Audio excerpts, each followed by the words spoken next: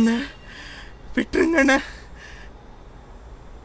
இனிமே இப்படி பண்ண மாட்டேண்ணே. தெரியாம பண்ணிட்டேண்ணே.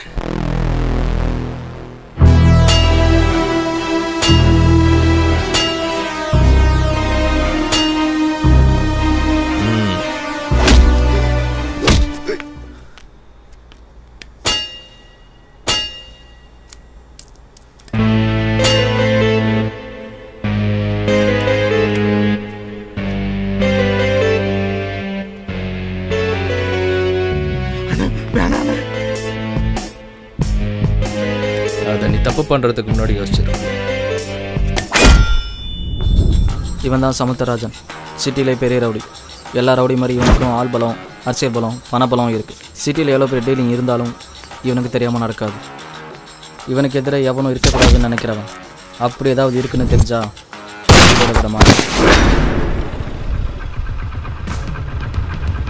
செல்வம் சமுத்தராஜனுக்கு ரைட் ஹேண்ட் சமுத்தராஜனை பற்றி எல்லாம் தெரிஞ்சவன் அவனோட நம்பிக்கையான ஆள். ஏ செல்வம் இந்த நாயை தூக்கி நடுரோட்டில் வீசுறா. இனி நமக்கு எதிரா எவனும் வரக்கூடாது. ம் செல்வம் அந்த ரெண்டு நாய்கள் இதே மாதிரி தூக்கிடுவோமா? சொல்கிறேன் இருடா. என்னடாங்க அண்ணா ஒன்றும் இல்லைண்ணா. சொல்கிற டேய். அண்ணே தேவையில்லாமல் ஒரு ரெண்டு நாய்க்கு நம்ம லைனில் கிராஸ் பண்ணுறானுங்க யாரா அவனுங்க? அண்ணா அவனுங்க ஏதோ அனாதை பசங்கண்ணா. சும்மா சின்ன சின்ன ரவுடித்தனம் பண்ணி தெரிஞ்சிட்டு இருக்கானுங்க ரெண்டு தட்டு தட்டினா அவங்களே ஓடுவானுங்க. நீ என்னடா இப்படி சொல்கிற அண்ணே மரத்துலக்கெல்லாம் பயப்பட மாட்டாங்கண்ணே சேட்டுக்கிட்ட போய் டீலிங் பேசியிருக்காங்க. நம்மளோட கம்மியாக முடிச்சு தரேன்னு சொல்லி. என்னடா சொல்கிற உனக்கு எப்படி தெரியும்? சேட்டாண்ட வேலை பார்க்குறேன் குமார் அவன் தான் சொன்னான். யாரா அவனுங்க? தான் நம்ம கிட்ட சாவறதுக்குனே வருவானுங்க போல இருக்கு. நான் அவனுங்கள பார்க்கணும். நம்ம இடத்துக்கு வர சொல்லு. அண்ணே நீ விண்ண நான் பார்த்துக்கிறேன் அந்த ரெண்டு நாங்களை வெடியறதுக்குள்ளே அடித்து கட்டலை வீசுகிறேன் எவ்வளோ தைரியம் இருந்தால் சேட்டுக்கிட்ட போய் டீல் பேசுவானுங்க. நான் அவனுங்கள பார்க்கணும். அவ்வளோதான் சரிண்ணா. நம்ம இடத்துக்கு அவங்களை வர சொல்கிறா சரி செல்வம்.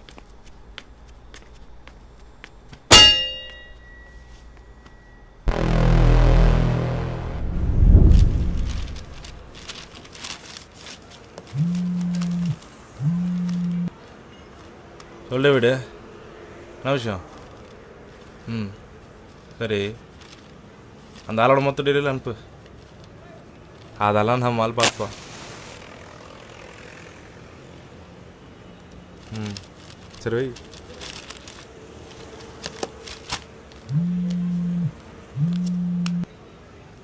ஹலோ? ஒரு நிமிஷம். டே வாசு. ராஜநாட்டு கால்ரா அவன் நம்மளை பார்க்கணுமாண்டா? சரி வந்துடுறோம்.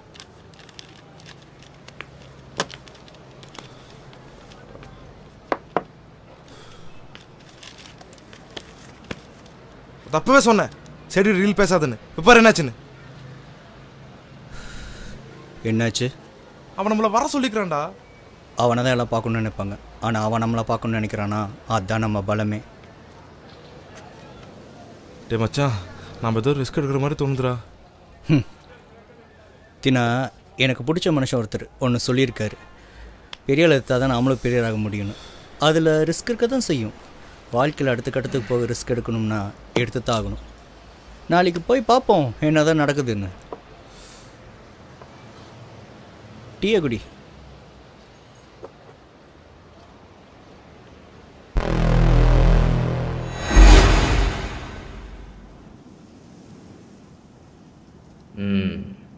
விஷயத்தை நான் பார்த்துக்கிறேன்.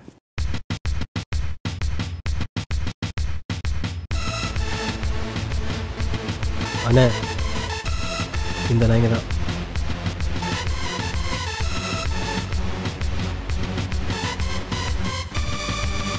கூப்பிடுறேன் மச்சான் இது இருந்தாலும் பொறுமையாக ஹேண்டில் பண்ணு. நான் பார்த்துக்கிறேன்.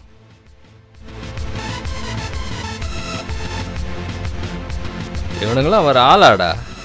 டேய் இவனுங்களை பற்றி தான் பேசிட்டு இருந்தியா? ஏண்டா நாலு பேர் அடிச்சிட்டா நீங்கள் என்ன பெரிய ரவுடியா? இந்த இடத்துக்கு வர எத்தனை தலை எடுத்திருப்பேன் தெரியுமா? முப்பது வருஷம் ரவுடிச வாழ்க்கடா. என் அனுபவம் தான் உங்க வயசு. இத்தோட எல்லாத்தையும் நிறுத்திட்டு ஊரை பார்த்து ஓடி போயிட்டே இருப்பா. நான் ஓடி போக வரல. ஓடி போக வரலன்னா? அப்போ என் எதிரில் வர பார்க்குறியா உன் எதிர வர ஆசை இல்லை. உன்னை தூக்கிட்டு அந்த இடத்துக்கு வரணும். ஓ அப்போ என்னை தூக்கிட்டு நீ வந்துடுவ ஏன்? நீ வரல? உனக்கு எனக்கு ஒரே வித்தியாசம் தான் உனக்கு முன்னாடி உன் இடத்துல தான் நாராயணன். அவன் கூடவே இருந்து அடிச்சிட்டு இந்த இடத்துக்கு வந்தேன் நான் உன் எதிரில் நின்று அடிக்கணும்னு நினைக்கிறேன். ஏய் ஒண்ணுங்கிட்ட ஏதோ அனாதை பயலுங்க போனா போகுதுன்னு விட்டா தா உங்களுக்கு என்ன அவ்வளோ தவளத்தா உங்களெல்லாம் வந்த உடனே போட்டு தள்ளி இருக்கணும் இவ்வளோ நேரம் பேச விட்டது ஏன் தப்பு தான் செல்வம் இந்த ரெண்டு நாயங்களையும் போட்டு தள்ளுறா. அதுலயும் இந்த நாயோட சாவு கொடூரமா இருக்கணும். என்னடா பார்த்துட்டு இருக்க போடுறா! செல்வம் என்ன பண்ற? போட போறது அவன இல்ல ஒன்ன ஏடா சொல்ற நகந்த. மூளை சதுரிடும்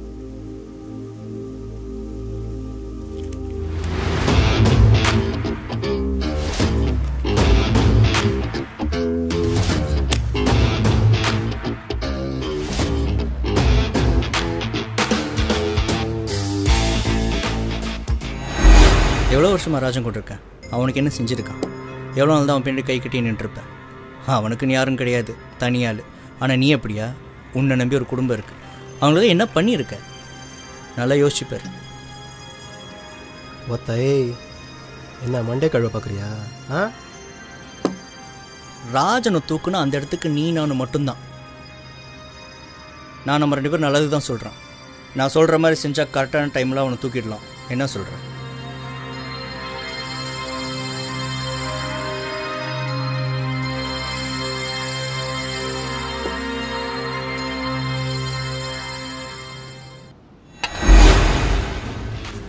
என்ன சொன்ன? உன் அனுபவம் தான் என் வயசா? கரெக்டு தான். ஆனால் நீ ஆயத்தை மட்டும் யூஸ் பண்ணுறவன் நான் ஆயத்தோட சேர்த்து அறிவையும் யூஸ் பண்ணுறவன் செல்வம். ம். டேய் வேணாண்டா வேணாமா? சரிடா செல்வம் வேணாண்டா என்னதான் இருந்தாலும் வயசில் மூத்தவன் சிட்டிலே பேர் ரவுடி வேற. அசிங்கமாக ரத்தம் வந்து செத்தா நல்லா இருக்காது.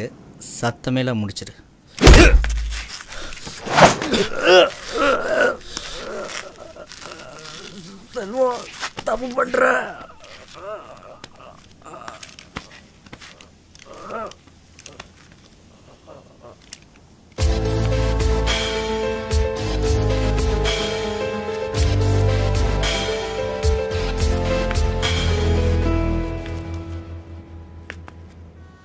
செல்வம் இனிமேலாம் நாம தான்.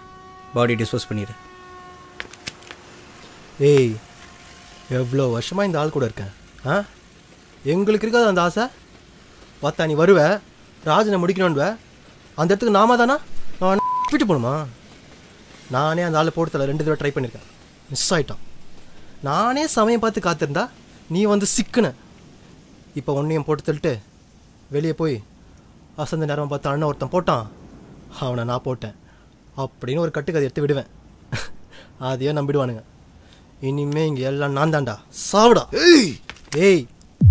தெரிச்சிரும்.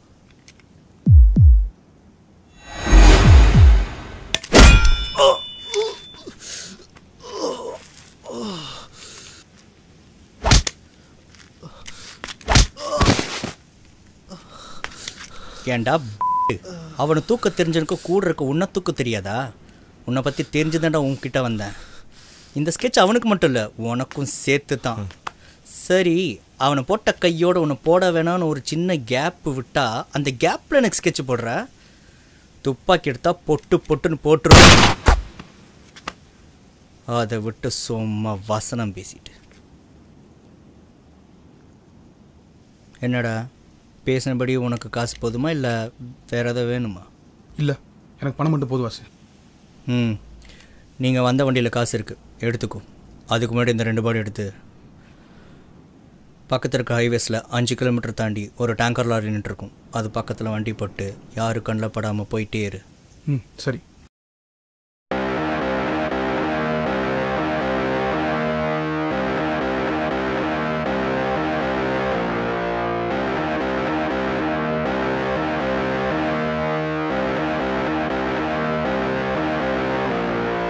மச்சான் இதெல்லாம் எப்படா பண்ண? சில விஷயத்த சொல்கிறத விட செய்யும் போது தான் த்ரில்லாக இருக்கும். இங்கே அடித்தா தான் மேலே வர முடியும்னா அடித்து தான் ஆகணும். எவன் நம்மளை எங்கேருந்து எப்படி அடிப்பான்னு சொல்ல முடியாது. நாம தான் அலர்ட்டாக இருக்கணும். மச்சான் எனக்கு ஒரு டவுட்ரா என்ன? இங்கே நடந்தது நம்ம மூணு பேத்துக்கு மட்டும்தான் தெரியும். அவன் எங்கேயாவது மாட்டி எல்லாத்தையும் சொல்லிட்டானா? அவன் சொல்ல மாட்டான். எப்படிடா சொல்கிற அதுக்கு அவன் உயிரோடு இருக்கணும். அவன் லாரி கிட்ட போன அடுத்த செகண்டே நம்மால் அடித்து தூக்கிடுவான். வண்டி எரிஞ்சு சாம்பலாயிடும். அது என்ன ஏதுன்னு கண்டுபிடிச்சி வர்றதுக்குள்ளே இங்கே இருக்கிற நம்ம இங்கே இருப்போம். அப்போ எல்லாம் நல்லபடியாக முடிஞ்சிச்சு. இப்போ தான் ஆரம்பிச்சிருக்கோம். இனி நம்ம பண்ண வேண்டியது நிறைய இருக்குது வா போகலாம் ராஜா மாதிரி ஆளுங்களை அடிக்கணும்னாக்கா கரெக்டாக பிளான் பண்ணி தான் அடிக்கணும். எனக்கு கரெக்டாக செல்வம் கிடைச்சான். அவனை வச்சு ராஜன் தூக்கணும் செல்வம் எனக்கு துரோகம் பண்ண மாட்டேன்னு நினச்சியும். அதனால தான் அவனுக்கு ஸ்கெட்ச் போட்டேன். இப்போ சுலபமாக ராஜன் இடத்துக்கு நான் போயிட முடியும்.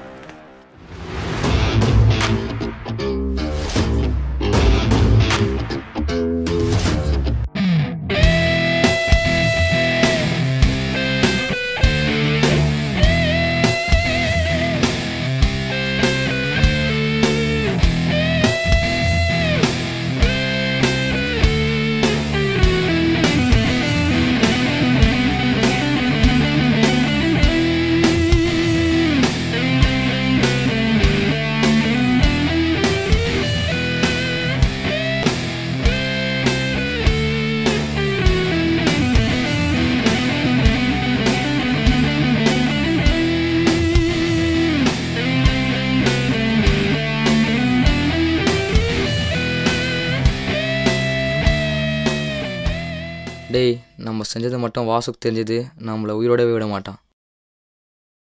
டேய் வாசுடா.